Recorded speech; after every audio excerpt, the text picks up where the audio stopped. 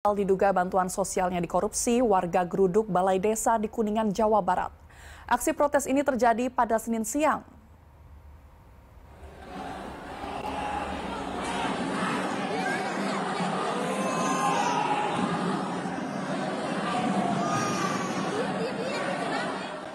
Nampak ratusan warga melakukan protes di kantor Kepala Desa Sukadana, Kecamatan Ciawi Gebang, Kuningan, Jawa Barat.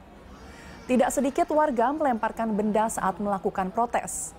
Warga kesal lantaran ada dugaan korupsi dana bansos oleh aparat desa. Warga menuntut kejelasan dugaan korupsi dana bansos karena terdapat beberapa kepala keluarga yang tidak mendapatkan bantuan.